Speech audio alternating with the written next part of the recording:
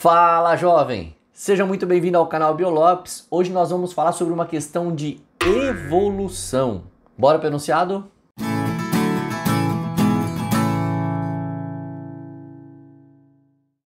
Questão 42 da prova QY, 23 da prova RZ, 28 da prova SW e 34 da prova TX. Caiu na Unicamp 2024, primeira fase. O conceito apresentado na figura a seguir é importante para fundamentar a classificação biológica baseada nas relações evolutivas entre os organismos. Então nós temos aqui, ó, um ancestral tetrápode com seu membro anterior destacado em ossos. A baleia com seu membro anterior, seus ossinhos, o ser humano com seu membro anterior, seus ossinhos, o lagarto com seu membro anterior e seus ossinhos, e o pássaro com seu membro anterior e seus ossinhos. O que eles têm em comum é que eles possuem todos os ossos. Por que eles possuem todos os ossos?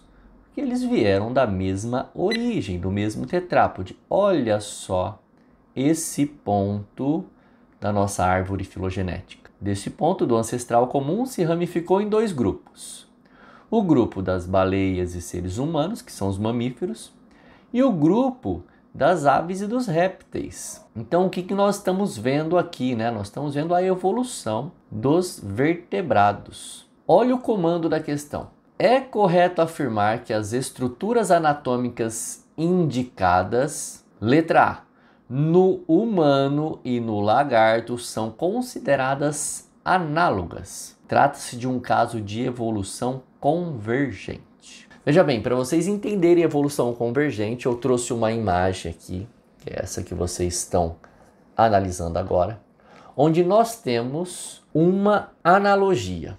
Nós temos animais como morcego, a libélula e o pássaro, que são de origens distintas. Morcego, mamífero, libélula é um inseto e o pássaro é uma ave, origens diferentes com a mesma função, apresentar asas para voar. Então, o que nós estamos vendo nessa imagem é isso daqui, ó. Origem 1, origem 2 e origem 3. Mamífero, inseto e ave. Todos eles apresentam órgãos para voar, asas. E asas têm uma função, essa única função é voar. Percebe? Origens distintas, mesma função. Isso aqui é uma analogia. Então não é o ser humano aqui dessa condição, aqui desse exemplo que o exercício trouxe, que traz analogia. O ser humano aqui, ele traz um contexto de evolução divergente.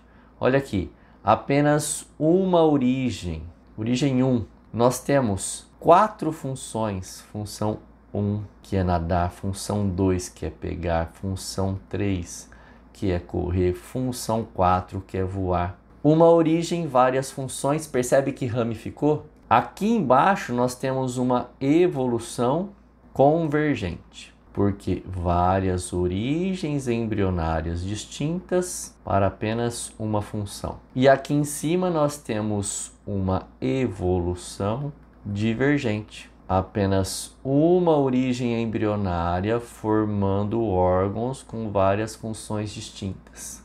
Então, o erro na letra A está em humano apresentar estruturas análogas aos lagartos. Não, não, não. São estruturas homólogas e não análogas. Letra B, essa é a nossa resposta. Olha lá que bonitinho. Na baleia e no pássaro, essas estruturas anatômicas são consideradas homólogas. Trata-se de um caso de evolução divergente. Literalmente o que o professor escreveu aqui para vocês.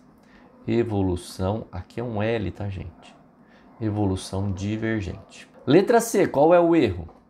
No lagarto e no pássaro são consideradas homólogas. Trata-se de um caso de evolução convergente. O erro está aqui, ó, em convergente. E na letra D, no humano e na baleia são consideradas análogas. Não é análoga, é homóloga. Trata-se de um caso de evolução divergente. Então perceberam o que, que o vestibular da Unicamp fez com o conceito evolução conver convergente e divergente, com as estruturas, com os órgãos homólogos e análogos, a Unicamp simplesmente brincou com as palavras aqui. Com um esquema só, ela brincou com as palavras. Então, se você quer revisar os conceitos básicos de evolução que caem no vestibular, dá uma olhada nessa aula aqui em cima, que é a aula que fala de evidências da evolução. Nós temos umas quatro aulas de evolução que são fundamentais para você dar os primeiros passos ou para revisar conceitos fundamentais nesse ramo da biologia. Beleza? Espero que você tenha gostado. Se gostou, curta, comente, compartilhe e não se esqueça de conferir se é inscrito no canal. Se não for inscrito, se inscreva e ative o sininho para receber as aulas toda semana. Bons estudos, vou ficando por aqui. Beijos e abraços. Fui.